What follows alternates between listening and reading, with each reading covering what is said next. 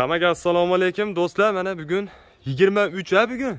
Aka 23-iyun hafta kuniga bugun juma.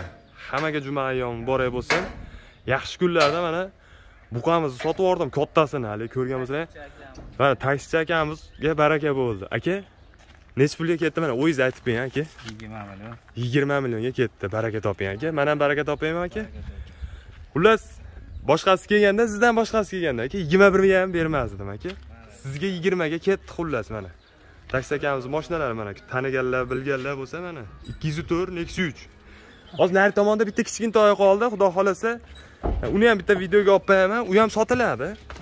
Agar nasib bo'lsa bir hafta agar bir haftaning ichida sotilmaydigan bo'lsa, taksi akam o'zi olib ketaman deyapti.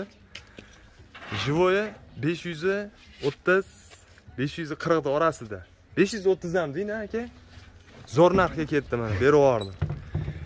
Xo'p, mana endi bitta kichkintoy sherigi qoldi. Albatta videolarimizga lak bosib qo'yasizlar. Mana bitta kichkintoy sherigi qoldi. Mana shu sotiladi xudo xolasa. Uni ham kelishtirib berib yuboraman. 400 kilo plus minus o'shini oralig'ida bu ham yedi ishda nimalari joyida xudo xolasa. Bu chempion sotilmaydi. Chempion sotilmaydi.